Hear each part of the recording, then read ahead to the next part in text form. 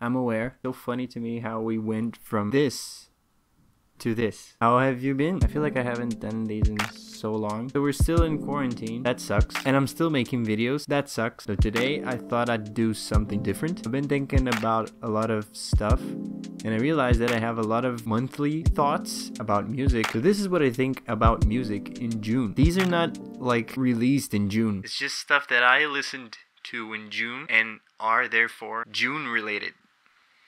Yes! I'll be going through some categories, showing you guys stuff that I like, and maybe you'll like them too. We're gonna go through the main three for me album of the month, artist of the month, and song of the month. Also, want to talk about plugins for those of you who are kind of producers like me. Wanted to address some creators like YouTube creators, people that I really like. Production of the month, I guess, in like tracks. And you know, maybe talk about the music in the month, so I'll have a few mentions.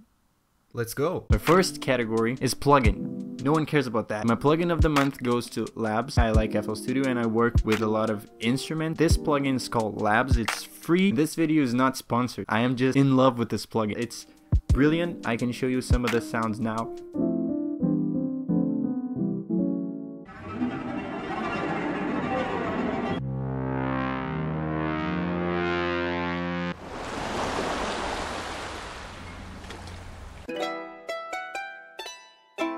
That's my plugin of the month.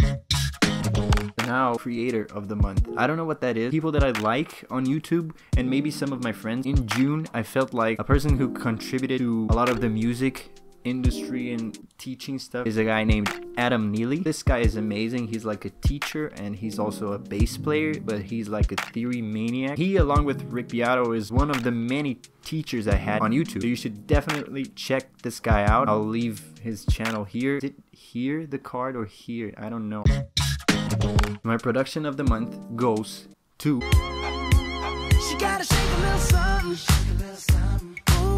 So this song's called Chunky. It's by Bruno Mars. Uh, it was produced by Shampoo Press and Curl. Have you heard this bass note? One of the fresh new funk stuff that we're seeing now. Definitely take a closer listen to that song. It's just brilliant. I'm in love with it. So I want to keep this quick. Is that an award? Like what? Who am I? Why are you even watching this video? Like I just have fun by myself. So in June, the artist that surprised me the most is Jacob Collier. This kid is a genius and is like a wizard. We all know that. Plays every instrument. He's a brilliant composer, producer, and also very humble person. When you carry that knowledge, you automatically deserve respect. So these are some of his songs. I'm gonna get copyrighted for this.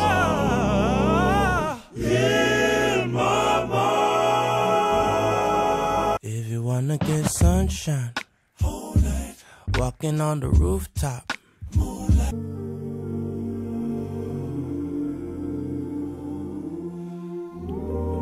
Also, he's very British. I feel like that's something I will never achieve. This is really important. For me, albums are the most important thing. Like, if you make a good album as an artist, you are a great artist. Like, a song has its value, of course, and a hit song has its value. But when you tell a story with an album, that is the prettiest thing in the world for me. While we're thinking about that, let me just give a quick mention to my friend Konrad or Conrad. How do you say that in English? We just released an EP and it's like a simple EP. Brilliant use of strings, brilliant use of arrangement for lush sounds, Brazilian music uh, guitar. So yeah, if you want to check that out. But my pick, the album that I've been listening to, came out in May. I was there at the release and I was there at the release party. It's from Jaclyn Lovey. It's named Feelings. But this girl is just ridiculously talented, beautiful voice, and she sings truths. Truths? How do you say that word? Sorry, Brazilian. And like this album is just great. Starts with this song.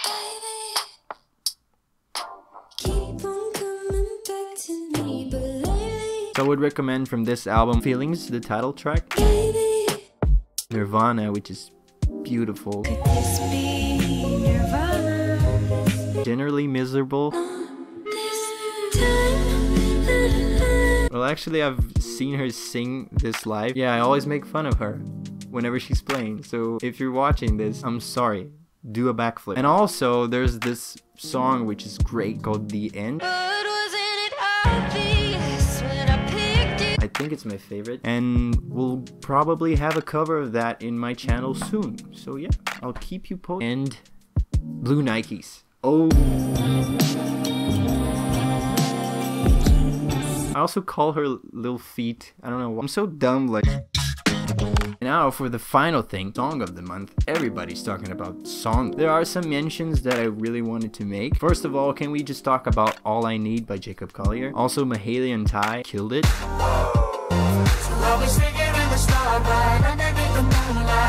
Also, we can't ignore Doja Cat's Say So. That actually has a major sixth chord. It's actually it's a two five one, which is very like jazzy, and you have this augmented third, I guess you can call it, amazing chord at the end. Brilliant. My favorite song is called Favorite Colors. Waking up, cigarette smoke, then it's back to these hopes of me packing out crowds. Used to keep head in the clouds. I actually listened to this song every single day of June, maybe, and I don't do that at all. This song happens to be a perfect fusion of like lo-fi samples with an LFO and then rap, synth, and melody. I really recommend that you finish watching this video and then go straight to that song. I'll have to reset my camera. Actually, I think I first saw that song on a Jaclyn Lovey video. You're in this video a lot, aren't you? And yeah, it just hit me really hard. One of the best songs I've heard this year. I think we're done. So I hope you liked that. This was a weird try of coming up with new stuff for this channel. And I hope you liked my suggestion. It will probably happen monthly and usually focused on stuff that is released in that month. On that month, I should go back to my English class. So I hope you like this. Keep producing, keep making music. But yeah, just thank you for the support lately. It gives me a lot of confidence to keep going. Also quickly, thank you for a thousand views on Haunt You and almost a thousand views on Can't Sleep Love. Don't forget to follow me on Instagram if you want to know stuff about my life or when my videos are released, because that's where I post stuff. And if you don't want to follow me, that is totally up to you. Feel free to check my SoundCloud. You'll get access to some new stuff, like, you know, my version of Can't Sleep Love, but vocals only, plus some lo fi stuff and some things that I do. Yeah, see you next time. Bye.